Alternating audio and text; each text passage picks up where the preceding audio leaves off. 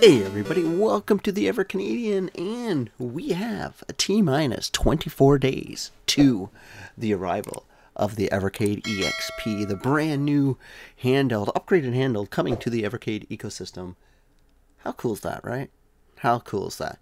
Anyway, just a little update on that, but let's let's we have to talk about the title of this video, why the Evercade will not fail. Or the Evercade will not fail, and these are the reasons why.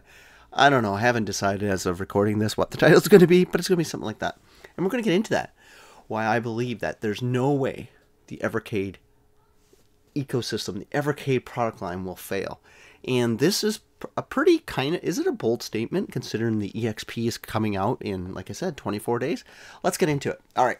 So I've got quite a few reasons here, and I want you, if I don't mention a reason that like that you agree with or you I missed a reason that you think might be contributing to my thoughts why it won't fail, put it in the comments. But if you have a counter argument, by all means, go to town. Go to town.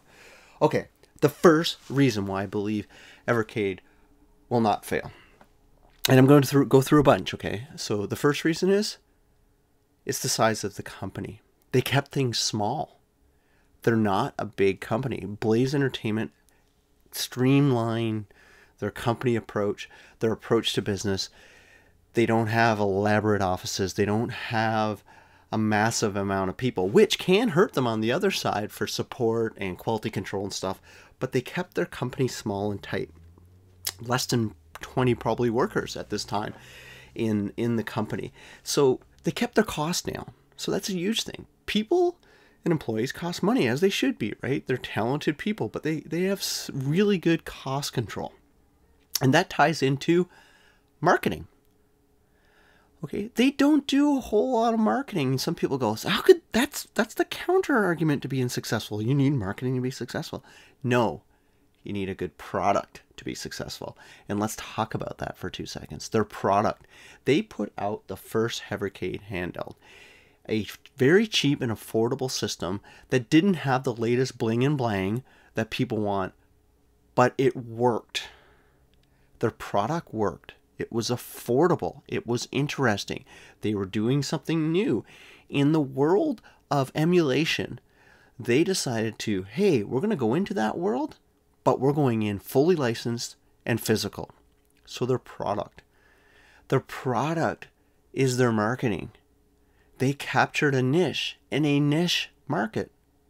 Retro video games is in kind of not niche, I should say, a smaller subset of gaming getting bigger and bigger every year with you know the advent of YouTube and tons of retro game channels. Retro video games market is started out small, but it's getting big, and they're inside of that. They're fully physical within that marketplace, and their product is their marketing because once retro gamers get a hold of it, um, they started talking about this on their channels and they started promoting it and at no cost to Blaze Entertainment which I thought was remarkable. And let's talk about that, you know, that product hitting huge channels with almost a million subscribers, talking about their product positively because the product was good, it was affordable, it was doing something different, is doing something different. And it latched on. And since they have cost control on their size of their company, they don't need huge margins to be successful. So this let's talk about the community, the retro gaming community, because that is another part of the marketing arm. The community that's formed around the Evercade, and I like to believe I was a, a part of that, is phenomenal. Is it the biggest retro gaming community? Is like is it as big as the one up arcade groups? Um, you know, different like different um, you know, the mini arcades, the the mini consoles, the emulation, retro emulation community. Probably not, but the community is growing. There's multiple podcasts probably, you know, at least 20 or 30 channels that are either dedicated or covering the Evercade on a weekly, daily, monthly basis. The community is growing. There's Facebook group pages, um, there's blogs, there's discords, there's a magazine. There's a magazine in the community that comes out quarterly that is just fantastic and so well done. How many retro gaming products have their own magazine, fan fan magazine. Not many, right? That's phenomenal. So that's another reason why I don't believe the Evercade will fail because, you know, the community is supporting it in such a positive, nurturing way that it's handling most of the marketing and all that stuff for Blaze because they care so much about the product. And now let's go back again to another reason why it won't fail. They decided to put out, after they've established success, a track record of commitment to quality.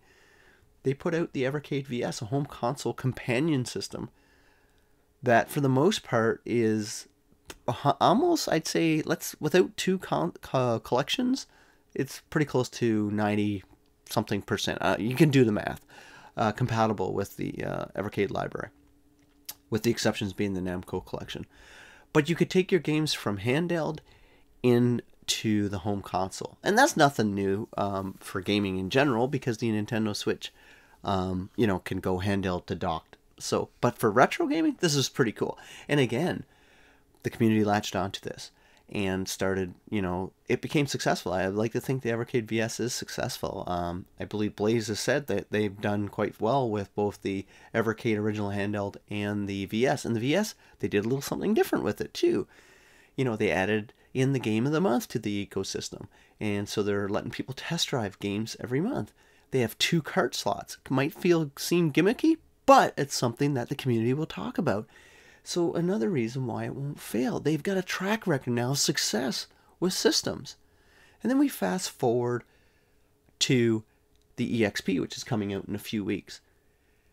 They've got another upgraded handle. They're committed to improving their systems, and they've introduced Tate mode, an actual way to play games that were designed for the vertical screen natively on the Evercade.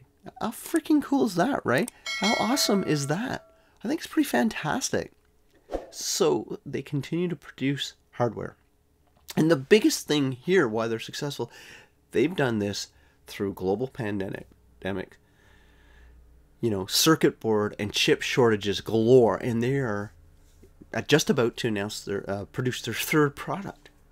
How cool is that? To be able to do that where other companies have failed left and right all around them to produce hardware, and they've been able to do it. And they they're not only in the hardware, they've produced 35 collections in over 2 years. 35 collections games, well over 300 games that you can play on their system. Sure, you can play them elsewhere. No one's debating that. But you can play them there, you can collect them physically. You have your little it, it you know, you have your ecosystem, you have your community, which is really good. And to do this all, all during the pandemic, with minor delays, uh, some quality control issues, no doubt about it. There's been collections gone out where the ROMs were messed up and misprints in the labels, stuff like that. But they be able to do all these things and have the success that they're having and have such a positive community. That's why they won't fail. They won't fail. They they they are growing their business the right way, and they're growing the community the right way, and the community is helping them grow, which is really cool. So for me it's important to recognize when companies are doing things the right way in the gaming space because we are overly a negative group of people. We just are. Gamers are no they all we always look for for negativity. That's just a general sentiment of the global gaming community. Me, I like to kind of look at the positive side of things. But anyway, let me know what you think. Do you think they will fail? Do you think they'll bite off more than they can chew in the future? I gosh, I hope not. But you never know. Crazier things have happened. Once again, I'm Pete. Hit that subscribe, smash that like button, ring that bell. You know, over 70% of people who watch my videos aren't subscribed. That makes me sad. Bye, everyone.